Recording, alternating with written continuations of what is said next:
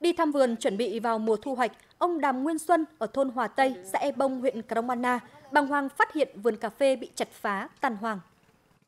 Trưa hôm ngày 20 tháng 10 là à, hàng xóm báo tôi là à, cà bị cưa.